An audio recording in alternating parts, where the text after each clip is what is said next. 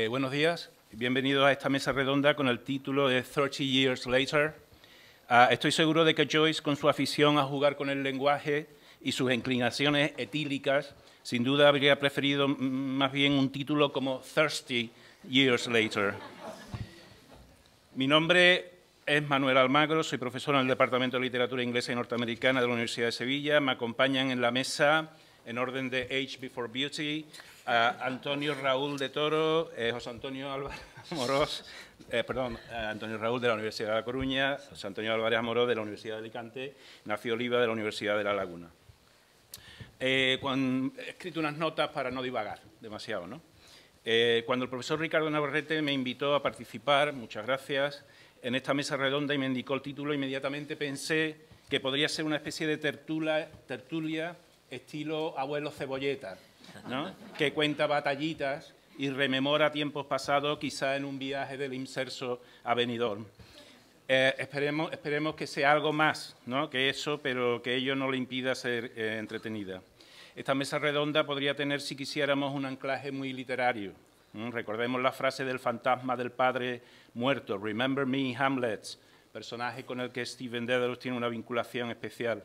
Es asimismo una frase que resume la obra de Joyce, que es un continuo ejercicio de la memoria y que culmina la obra de Joyce en la, forma, con la forma de Remember Me, ¿eh? como ruega una voz al final de Finnegan's Wake. Todo ello sin mencionar las muchísimas veces que en diversas formas aparece el verbo to remember, ¿eh? a lo largo de, por ejemplo, Ulysses. Pero esta mesa redonda, además de para la seriedad literaria, creo que también puede tener sitio para, o dar sitio para un enfoque más ligero y posiblemente divertido, amable. Podría ser también una especie de walk down memory lane, un ¿dónde estabas entonces? un cuéntame cómo pasó. Todo eso creo que también podría ser objeto de discusión o al menos de constatación. Dice un conocido tango que 20 años no es nada y yo puedo añadir que 30 años es menos todavía. Y así, pues, eh, repasar los 30 años de la Asociación Española de James Joyce es repasar lo que, y lo digo un tanto desde fuera, con un pie fuera, por así decirlo, es repasar lo que, en mi opinión, ha sido y sigue siendo, gracias a la contribución de todos, una historia de éxito. Desde el Big Bang inicial de su fundación hasta su desarrollo y florecimiento, permítanme aquí el guiño a Bloom, y su contribución al afianzamiento de los estudios joycianos en España. Esto se manifiesta no solo en la voluntad de permanencia y la continuidad incansable año tras año de la actividad de la propia asociación, sino de todo lo que a su sombra se ha ido organizando y toda la producción intelectual que ha generado en este tiempo. Simposios internacionales, jornadas nacionales anuales ininterrumpidas, como ya mencioné, publicaciones diversas, una revista periódica y, en general, un gran trabajo de recopilación y memoria de todo ese material producido. Y si me dejo algo, pues luego son ustedes muy libres de recordármelo. Ah, no dejemos de mencionar también la parte festiva o celebracional. Eh, para aquellos que no son de aquí, les diré que en Sevilla cualquier cosa que se celebra dos años seguidos ya es tradición. Así que pueden imaginar que el 16 de junio se ha convertido ya en una añeja tradición que celebra de una manera u otra el Bloomsday, con más o menos repercusión mediática, pero siempre presente cuando llega el día señaladito, como nos gusta decir en esta ciudad. Todo esto, en mi opinión, es un logro notable para una asociación que centra su objeto de estudio en un único autor, que tampoco es que escribiera muchas obras, y siendo la más conocida entre ellas, como dicen eh, el famoso, como dicen los alumnos, el Ulises, una de las novelas en la historia de la literatura más odiadas y arrojadas contra la pared en desesperación.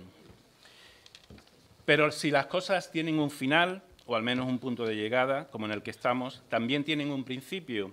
Y hoy, un poco para completar lo que el profesor García Tortosa ha estado comentando en el vídeo anterior, estamos aquí precisamente porque en efecto hubo un principio. Así que si es el caso de que no saben muy bien por qué están aquí y preguntándose qué demonios hacen dedicándole su tiempo a Joyce, déjenme recordar brevemente el origen de ese desasosiego. Esta asociación fue fundada en un despacho de nuestro departamento por tres personas, el profesor García Tortosa, yo mismo y un tercer hombre, que hoy no puede acompañarnos, José Carnero, profesor ya jubilado. Luego vino toda la parafernalia, las asambleas, constituciones, etcétera, etcétera. Sin duda yo no podría escribir una historia de toda la vida de la asociación. Otros lo podrán hacer mejor que yo mismo, pues por tener otros intereses académicos acabé desvinculándome eh, de su actividad. Pero al menos sí puedo hablar de sus inicios, aunque solo sea porque yo estaba allí, fui testigo directo. Era una época que a algunos de los presentes les resultará extraña, casi de fantasía, pues por aquel tiempo la Administración autonómica consideraba que era una buena idea dar fondos y ayudas económicas para asociaciones académicas y para, y para labores científicas. Oh, témpora, oh, mores. Así que pensamos que sería una buena idea lanzar una asociación con la finalidad que ustedes ya también conocen y que además corría en paralelo con la formación de un grupo de investigación con los mismos tres profesores y al cual grupo se fueron añadiendo poco a poco otros profesores y profesoras más. Pero los principios tienen a su vez un principio. Y no sería justo dejar de señalar que si al trío ya mencionado se les ocurrió aquello, era porque ya nos habíamos situado en lo que podríamos denominar un ecosistema y pensamos que sería posible propiciar la consolidación formal y estable de dicho ecosistema en forma de asociación y proyectarlo hacia afuera para compartirlo con otros estudiosos interesados. Puedo citar un par de ejemplos de ese ecosistema. Por ejemplo, la lectura de tesis doctorales sobre la obra de Joyce, o la celebración en 1982 del Congreso Internacional en el centenario de James Joyce, cuya organización corrió a cargo de los tres sospechosos habituales, junto con un cuarto hombre, el profesor Paul Witkowski, que está hoy aquí con nosotros, también interesado, interesado en la obra de Joyce y que a la sazón nos acompañaba como profesor Fulbright en la Universidad de Sevilla, lugar del crimen al que, como se puede ver, ahora ha vuelto una vez jubilado. Pero para mí, al menos, este principio tiene a su vez otro principio, como menciono en un vídeo que luego veremos. Y en este caso, el causante fue en solitario el profesor García Tortosa, y en particular su artículo sobre ese momento en Ithaca, cuando Bloom se mete en la cama y tiene ese peculiar ataque de sensualidad hacia su mujer que yace a su lado. Ustedes lo recordarán, el pasaje que comienza He kissed the plum, mellow, yellow, smellow melons of a rump, en fin, no sigo porque hay niños delante. La cuestión no era el tema del artículo, por supuesto, quien no ha hecho eso alguna vez, eh, sino el enfoque y la manera de analizar un texto. Acostumbrados, como estábamos en aquella época los alumnos, a estudiar literatura sobre la base de la vida y milagros de los autores, descubrir que el análisis de lo literario se podía hacer de una manera completamente distinta y siempre con el texto literario por delante, supuso una revelación y una revolución, que ahora tenemos perfectamente normalizada y naturalizada, pero que en aquella época afectó no solamente a mi manera de entender la lectura y la crítica, sino también, en mi opinión, la de todo nuestro departamento. Fue, por así decirlo, un golpe de timón intelectual que, una vez más, desde aquí quiero agradecer al profesor García Tortosa. Y bien, mis recuerdos fiables llegan hasta aquí. ¿eh? Así que antes de empezar a inventarme otros recuerdos, como haría un personaje de Beckett, prefiero pasarle la palabra a mis compañeros de mesa y, por si lo estiman conveniente, en la línea del vídeo que hemos visto y de los que veremos, plantearle preguntas como, por ejemplo, ¿Cómo y cuándo fue tu primera vez? ¿Fue solo o en compañía de otros? ¿Has tenido alguna vez síntomas de adicción o síndrome de abstinencia? ¿O te has dicho a ti mismo, tranquilo, yo controlo, lo dejo cuando quiera?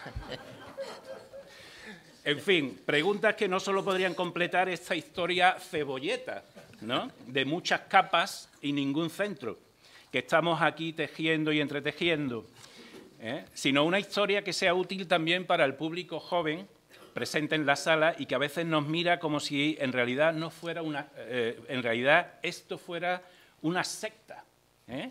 Que como los lotófagos se pasan el tiempo comiendo hojas, solo que en este caso son hojas de papel de las novelas de Joyce, en vez de ocuparse de otros asuntos, tal vez, solo tal vez, más perentorios. Y ahora paso la, palabra a, Antonio. Muchas gracias. Vale. Muy buenos días a todos. Antes de nada, eh, agradecer, en fin, la invitación que me hicieron desde la organización para estar y formar parte de esta mesa. Y en segundo lugar, también dar las gracias por esa sorpresa que no me la esperaba, en fin, no voy a decir ni un taco, ni de broma, vamos a decirlo así. Y muy agradecido porque precisamente que me encuentro descolocado. Casi, casi me pasa como a Manuel Fagar Barne, que fue ministro, como sabéis, del franquismo y después eh, presidente de la Comunidad de Galicia durante años, y que en las últimas etapas de su vida, a la mínima de cambio, se le caían las lágrimas. Quien, quien te ha visto y quien te ve. Pues a mí casi me pasa igual, ¿eh? debido a esta sorpresa que no me la... En fin, no sé quién se encargó de, de programar toda esa información. Pero muchas gracias en cualquier caso y muy agradecido. Bien, pues yo voy a ser breve también y en la línea de lo que me pide o de que sugiere mi querido compañero y amigo Manuel Almagro, eh, pues yo también soy, en fin, no tanto como él, pero sí miembro fundador desde la, primera. Ahí voy a hacer una pequeña, un pequeño repaso y sobre todo desde el punto de vista, ah, gracias, eh, desde el punto de vista, eh, en fin, de la, lo, que hemos hecho nosotros desde el Instituto Universitario de Estudios Irlandeses Ameriquín de la Universidad de Coruña.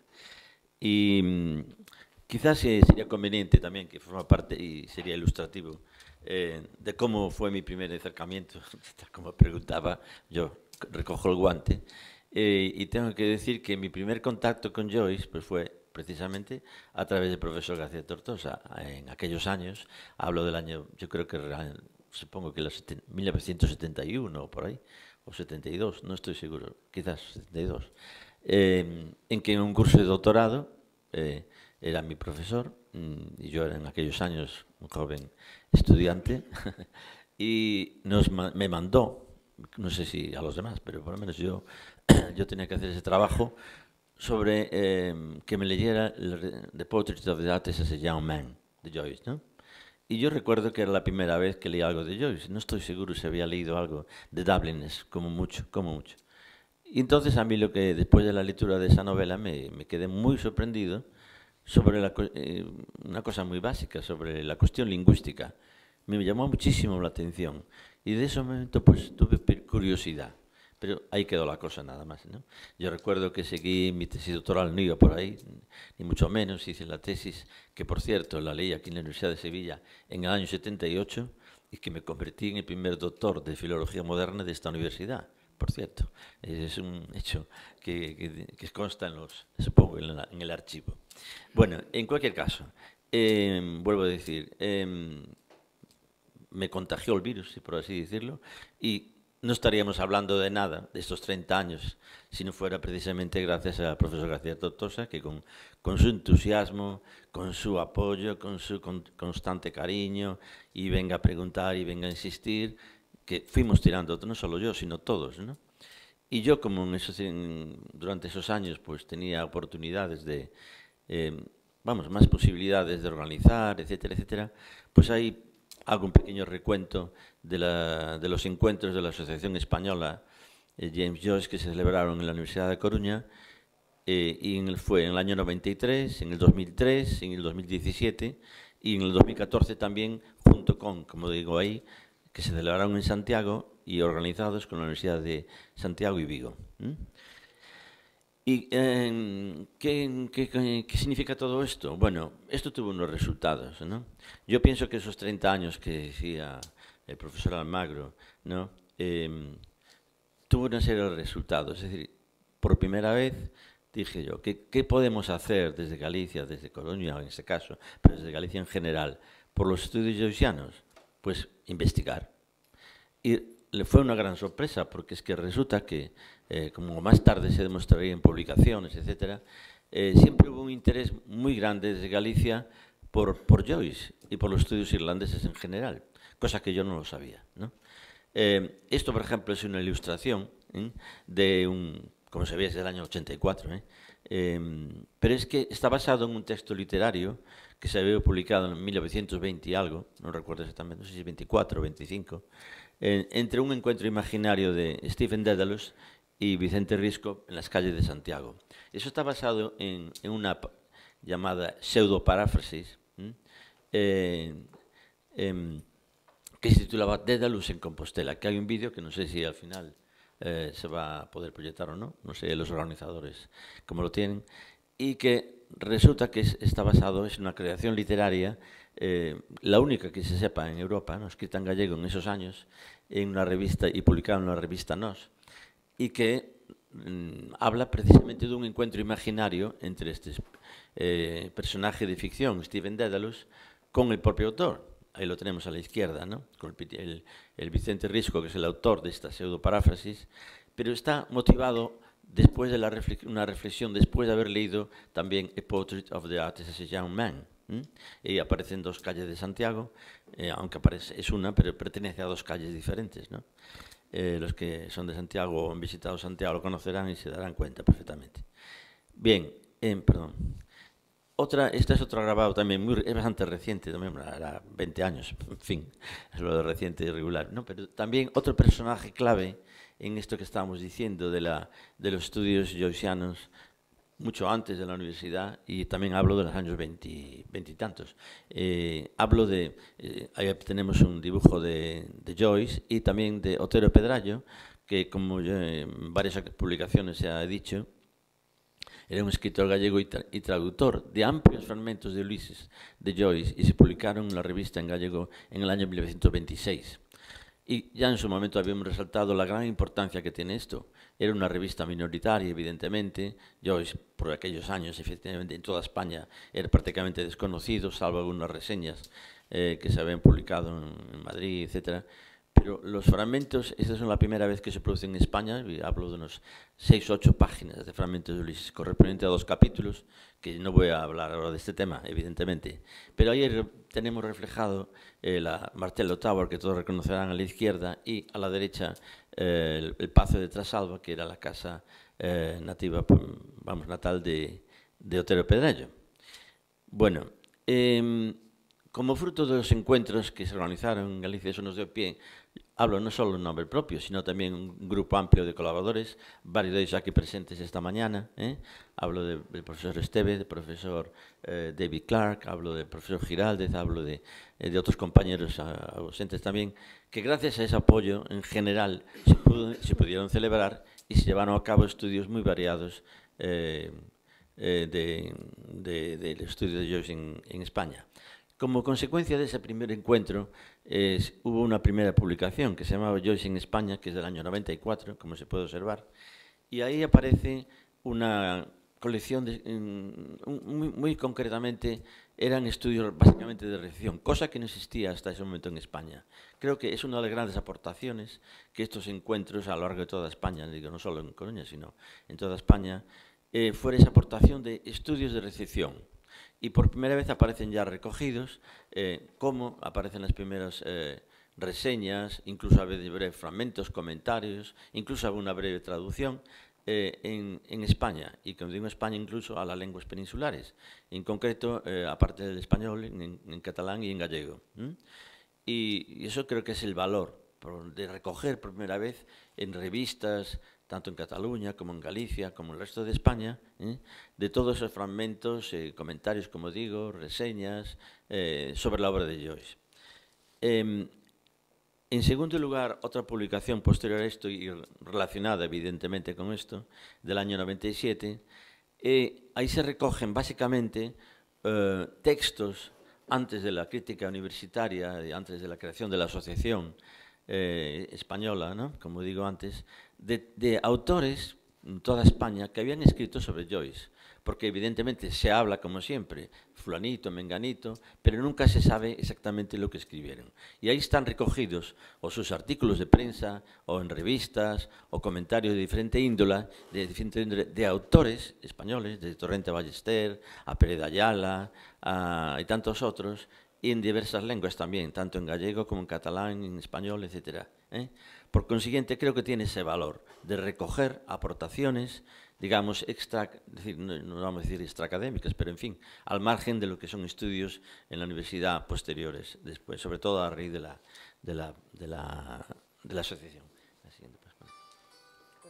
Ah, gracias. Un tercer libro relacionado con esto, posteriormente, nos pareció al profesor Alberto Lázaro, hoy no está aquí presente, pero y se publicó el año 2013, es decir, recoger ya en el año, hasta el año 2003 todo lo que se había publicado a nivel universitario, de tesis doctorales, tesinas, publicaciones, libros, artículos, etcétera, en España. Evidentemente, claro, se, se quedó en 2003, hoy en día con, la, eh, con Internet tenemos todo esto mucho más fácil, ¿no? Y me parece que ya nada. Y nada más por mi parte. Simplemente una vez más quiero dar las gracias primero a mis compañeros de mesa, a todos amigos y viejos conocidos, a, mucho, a todos los aquí presentes y nada más. Muchas gracias por toda su atención. Gracias.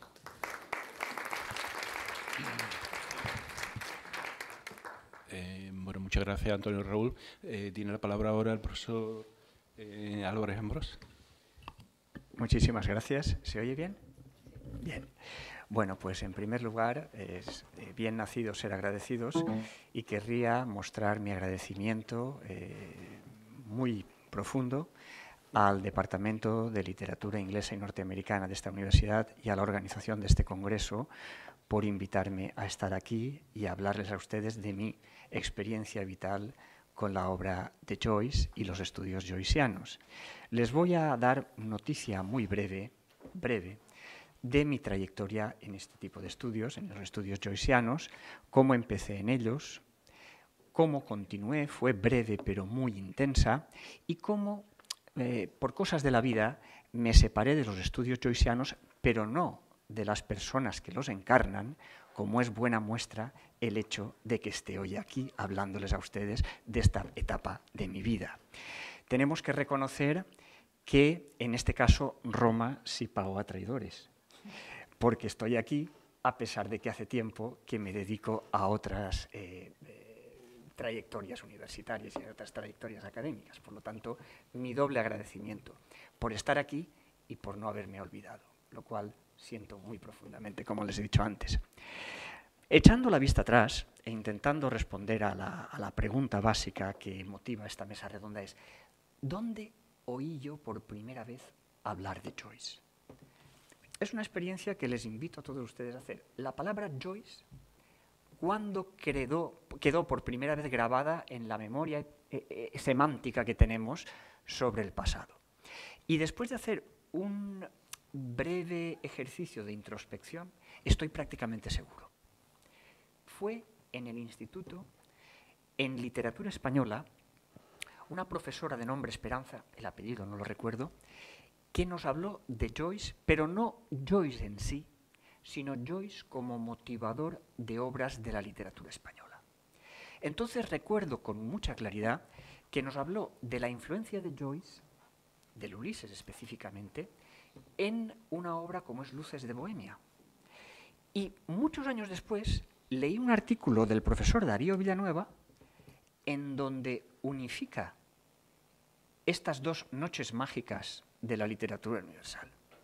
Hay muchos paralelos y ella los vio. Lo que ella me dijo fue diez años antes de que Darío Villanueva escribiera esto, lo cual eh, aumenta mi respeto de una manera, eh, como pueden ustedes imaginar. Una profesora de instituto que tiene una idea que después un gran profesor de universidad, investigador y crítico, plasma en un artículo bien conocido, o por lo menos yo lo conozco, quiero decir, me imagino que todos ustedes también conocerán esta aproximación a Luces de Bohemia a la sombra de Ulises o al revés. Ella también me habló de algo que es mucho más conocido, que es de la influencia de Joyce en Tiempo de Silencio. Esto es mucho más popular, mucho más conocido, los paralelos eh, míticos, los paralelos de la Odisea, los trasuntos, por ejemplo, tengo aquí unas cuantas notas, por ejemplo, eh, eh, Pedro es el protagonista, es obviamente Bloom, Florita lo, emparentan con Nausicaa, Cartucho es el cíclope, etcétera, etcétera, etcétera. Pero esta es la primera vez que yo guardo memoria del nombre de Joyce. No sé si antes lo había visto en algún medio de comunicación, en alguna conversación, lo dudo, pero la primera vez que yo guardé algo en mí, que era algo que sobresalía por encima del nivel del ruido, fue mi profesora de literatura española, Esperanza, en el instituto. Pero no había leído a Joyce, lo había oído, que había tenido una gran influencia en la literatura española, en esas obras especialmente, pero yo no había leído a Joyce. ¿Cuál fue la primera vez que yo leí a Joyce? Fue en la facultad. Pero no piensen ustedes que fue en literatura inglesa o en literatura anglo-irlandesa. Yo soy de otra época, y entonces nosotros teníamos las tres comunes, los tres cursos de comunes y los dos cursos de especialidad, que los que eh, rayan en mi edad, pues normalmente reconocerán sin ningún problema porque lo han, han, pasado por ello. Yo tenía un profesor que muchos de ustedes reconocerán, que se llamaba Leopoldo Mateo Álvaro, que recaló en Alicante por circunstancias vitales y el hombre es profesor de literatura norteamericana, imagino que está jubilado ya. Eh, ¿Qué ocurre? que le pusieron a dar lengua inglesa lo cual le provocaba profunda irritación, desdén y, ganas de romper con todo.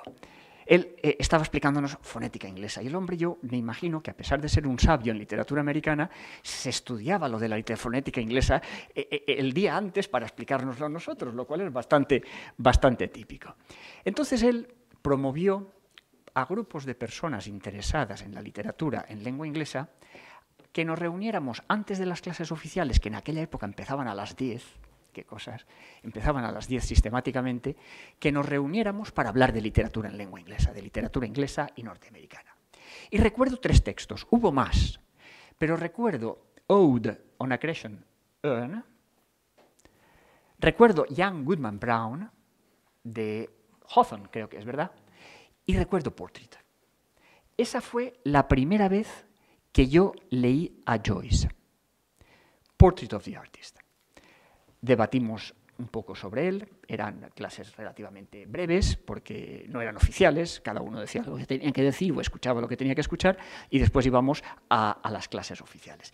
Pero esa fue en, el, en primavera, o quizá un poco antes de primavera, febrero, marzo, abril, no puedo aquilatar con exactitud la fecha, en que yo del 1981, la primera vez que yo leí a Joyce con conocimiento de que estaba leyendo a un eh, personaje genial. ¿eh? Porque me di cuenta de muchas cosas. El profesor Antonio, eh, Antonio Raúl de Toro ha dicho antes la sorpresa de carácter estilístico lingüístico que se que significó para él leer Portrait, es la misma sensación que tuve yo de encontrarme instalado en la mente de otra persona y ver el mundo desde su perspectiva. Ese mismo año, en verano del 81, yo hice un curso de verano, valga la redundancia, en la Universidad de Edimburgo. Y conocí a el profesor Manuel Almagro y al profesor José Carnero, que no está en estos momentos aquí con nosotros, y eran dos personajes en busca de tesis el profesor Manuel Almagro, la épica moderna en Ulises, y el profesor eh, José Carnero, Pepe Carnero, para nosotros, los amigos, estaba empeñado en desentrañar algún, algún sentido en Finnegan's Wake.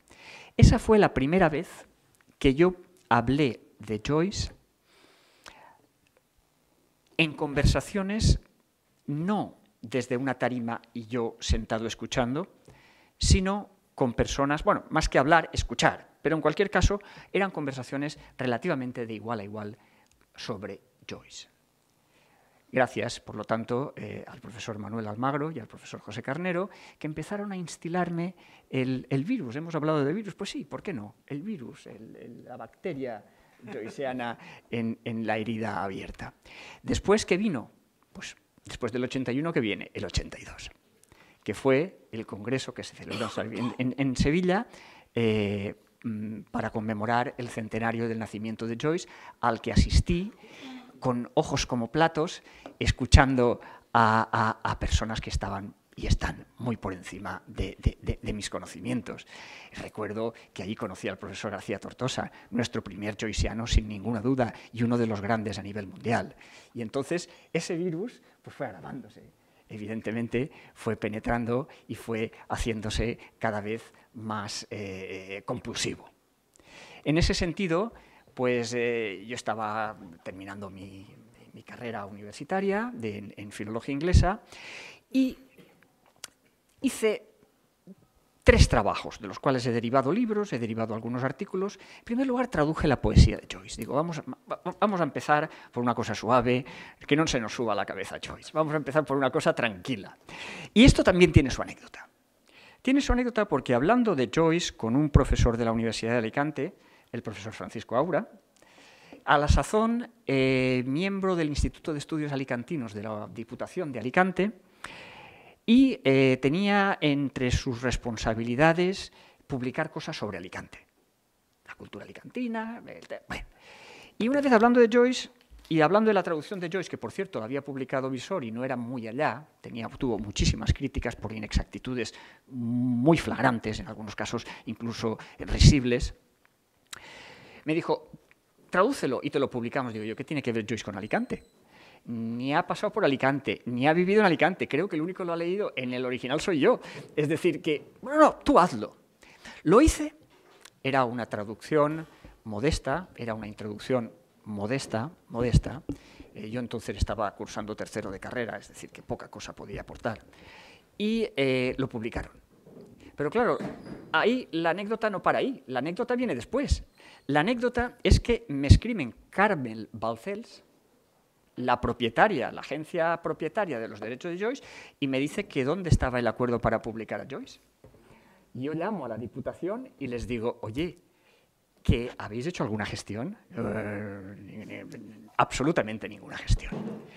Y me escribe Visora, diciéndome que cómo pensábamos resolverlo. Digo yo, mire usted, a mí que me cuenta, yo ni he cobrado ni nada, simplemente he escrito, hable usted con la Diputación. Le ofrezco una cosa,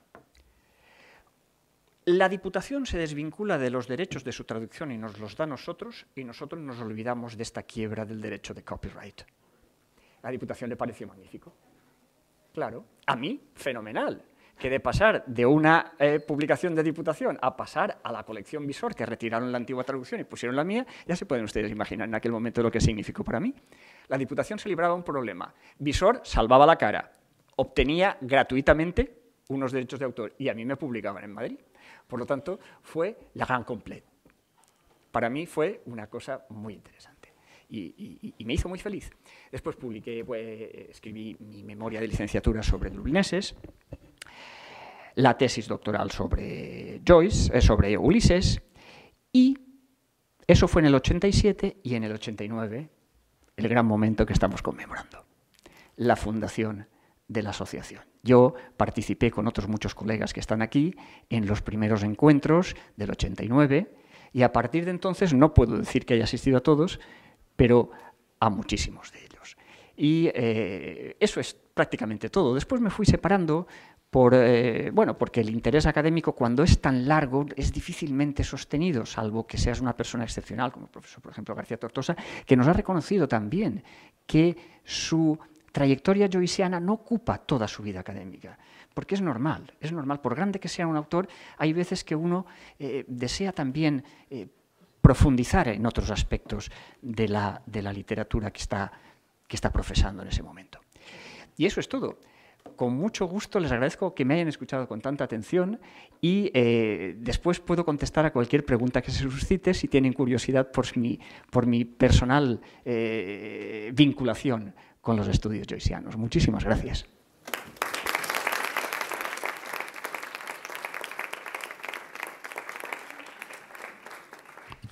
No aplaudan que todavía no acaba.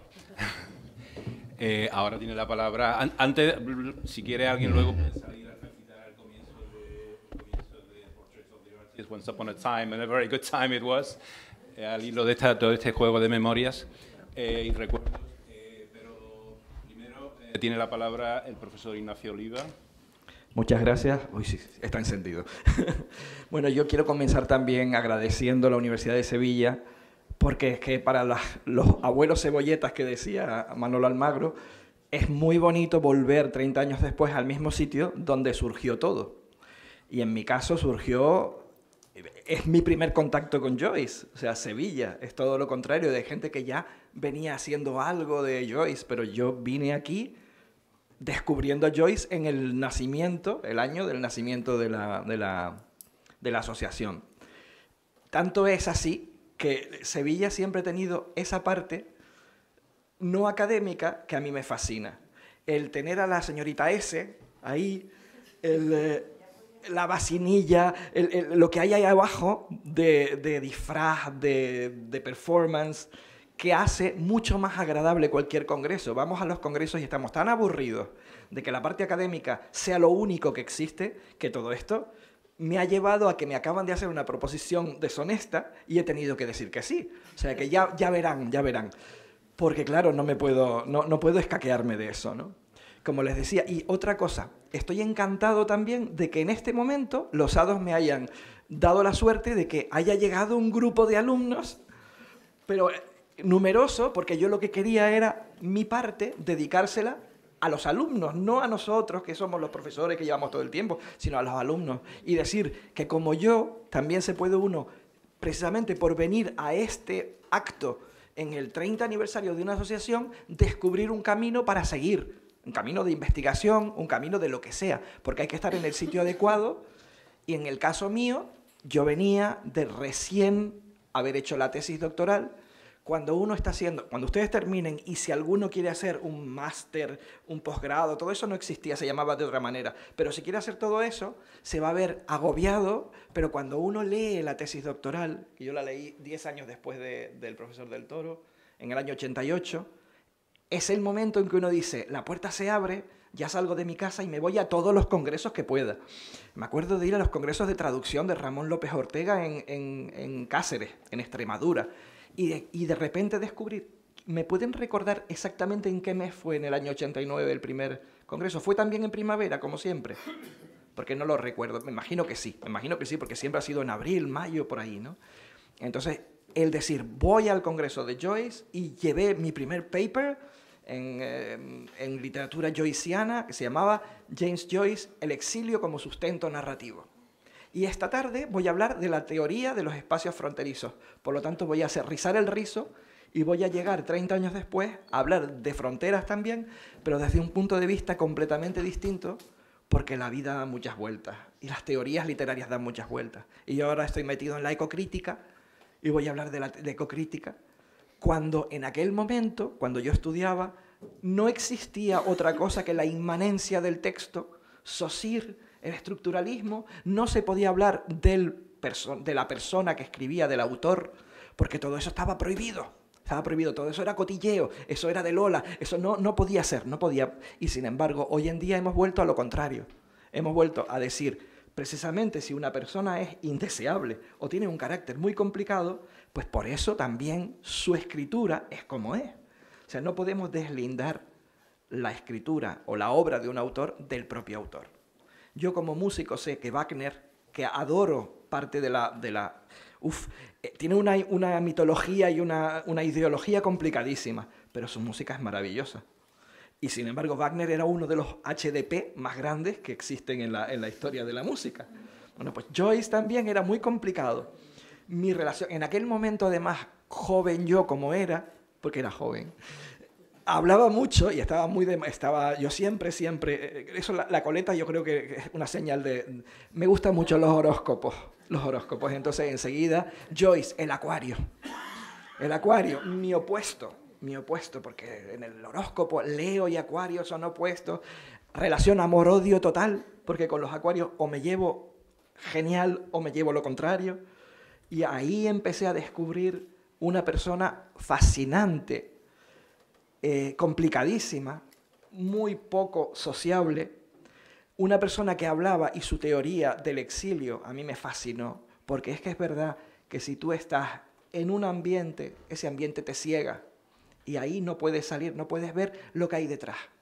Y yo iba de haber hecho una tesina, de haber estudiado, antes de eso, de haber estudiado filología inglesa, la época, yo creo que José Antonio, que por cierto estuvo en mi tribunal de cátedra, pero es de mi misma edad, creo que somos del mismo año, del 61, ¿no? Es de mi misma edad. Pues no existía eso de anglo-irlandesa, que dicen. Existía literatura inglesa y aquella cosa poco académica y desagradable que era literatura norteamericana. Norteamericana era como el horror, porque lo importante era literatura inglesa, y cuando decías literatura inglesa estabas hablando de británico, y punto. Literatura irlandesa, se, se estudiaba. Yo estudié, yo leí, porque un profesor, probablemente de esos hippies revolucionarios, nos dio a leer el Portrait of the Artist. Y eh, me acuerdo de leer The Dead. En aquella época también John Huston le dio por hacer la película, también un poquito después, pero que fascinó a todo el mundo, Los Muertos, ¿no? La película de, con Angelica Houston, por supuesto, que tan, tanta influencia ha hecho para que Joyce sea más conocido en el mundo no académico, no de universidad, ¿no? Entonces, es estar en el momento adecuado, en el sitio adecuado. Yo que venía de la literatura, que había hecho una tesina de Salman Rushdie, Salman Rushdie, para yo hacer una tesina de Salman Rushdie es porque Salman Rushdie era británico. Si saben, Salman Rushdie, los, los alumnos, es ese escritor que escribió yo la hice antes de los versos satánicos, si no, no lo hubiera hecho probablemente porque no quería meterme en berenjenales. Lo hice de Midnight Children, Hijos de la Medianoche, que había ganado el Booker Prize. ¿no? Pero es que mi, mi, tutor, que era Fernando Galván, dijo, no, no, es que Salman Rushdie es británico. Salman Rushdie es un señor mm, de origen mm, musulmán pakistaní, nacido en lo que era United India de nacionalidad británica porque estudió en Cambridge historia y consiguió la nacionalidad británica, que después lo condenan a muerte los ayatolás en, Irán por escribir los versos satánicos y terminó haciéndose americano. Entonces, la literatura no tiene fronteras, no podemos hablar de literatura inglesa, ahora es, como lo de género y todo eso, que tenemos que decir mm, todes en vez de todos y todas y cosas así, ¿no? En aquella época inglés era todo, pero es que existían otras cosas. Cuando yo hice la cátedra, por ejemplo, yo tuve que hacer una cátedra de literatura británica y tuve que, por mi formación académica, exponer como literatura británica todas las cosas que no eran americanas de habla inglesa. Entonces tenía temas de literatura australiana, de literatura india, de literatura irlandesa, etcétera, como parte de literatura de cátedra de literatura británica. No se podía hacer una cátedra de literatura postcolonial, eso no existía, eso era horroroso. Por supuesto, no había literatura feminista cuando se empezó la literatura feminista en España, eso no valía para nada. Eso era meterse en, cosas no académicas. y ahora con la ecocrítica que está de moda, está de moda, pues yo recuerdo cátedras, catedráticas muy jubiladas ya, gracias a Dios, decir, ecocrítica. Por favor, estamos hablando de ecología, estamos hablando de esto qué es. Entonces, la cosa evoluciona, nosotros tenemos que meternos en, ese, en esa rueda. Yo me acuerdo del profesor García Tortosa, cada vez que iba, no, no el, primer, el primer congreso que fue de Joyce, sino que a partir de ahí todos los congresos que he asistido, que, en los que he asistido, han sido de Joyce en la literatura de Amit Chaudhuri, de Shayan Selvadurai, de escritores australianos, de escritores indios, de escritores de todo el universo postcolonial. Y yo me acuerdo de Paco García Tortosa diciendo, ah, este es el chico de Canarias que habla de esas cosas raras postcoloniales, pero donde Joyce está siempre presente. en, The Portrait of the Artist, cuando se ve la escritura esta la, dirección esta que termina de Universe, esa famosa, eso se repite mucho en la literatura postcolonial, en muchos escritores indios, colocando a la India dentro del Raj en su, justo, en su justa medida. Entonces hay muchísima, porque hablar de exilio, hablar de Joyce, y en eso también me, me dirijo a García Tortosa, es que Joyce es como Shakespeare, es como Cervantes, es como todos esos escritores que ahora se pueden releer desde el punto de vista postcolonial en su momento y ecocrítico en su momento, como, como se ve a las 4 de la tarde cuando yo hable.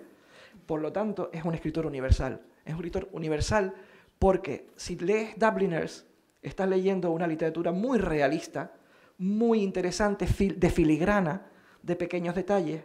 Si lees a Portrait, Estás viendo el modernismo, estás viendo la, construcción, el Bildungsroman per se, con muchísima, con muchísima eh, evolución, pero es una literatura distinta. Cuando lees Ulysses, estás en el experimentalismo, y cuando vas a Finnegan's Wake, estás en un sudoku.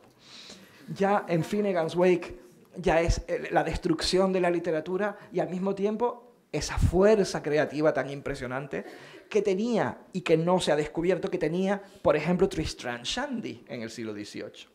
O sea que claro que hay.